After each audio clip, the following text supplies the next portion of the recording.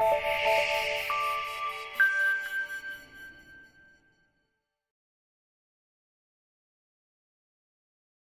Hi, I'm Charles Forrester from IHS Janes. Uh, I'm here at the Farnborough Air Show with um, Pavlo Poliachenko from the Antonov Company to talk about the AN178, which is being displayed at the Farnborough Show for the first time uh, after appearances at ILA in Berlin and the Paris Air Show last year. The aircraft is going to be undertaking a flight demonstration uh, for the first time at the show. Uh, so, Mr. Poliachenko, can you tell us about the uh, the aircraft, how it's been designed, and some of the key differences um, that we are seeing in uh, the design. Uh, this aircraft, uh, the activities of designing of this aircraft has been begun in uh, 2012 and uh, have been finished in 2014. This aircraft uh, designed on the basis uh, of our family aircraft 148.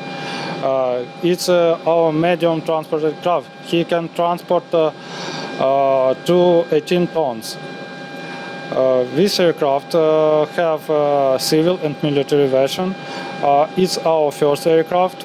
This plane, it uh, civil aircraft, and it can transport to uh, 19, oh, sorry, uh, 16 tons uh, cargo on range uh, of, of to uh, 4,400 kilometers. Empty uh, aircraft can uh, fly on range 5,400 kilometers. Uh, now, for this aircraft, we uh, conduct the program of replacement uh, of uh, equipment of manufacturer of Russia.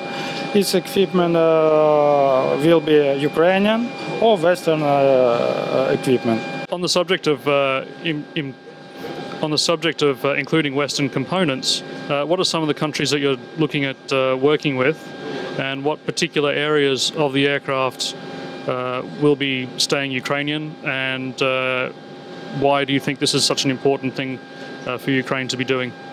Oh. We choose not important for Ukraine, and we choose who better. Uh, for example, uh, avionics, we choose uh, CMC Electronics uh, Esterline from Canada, but uh, flight system it's stay in Ukraine.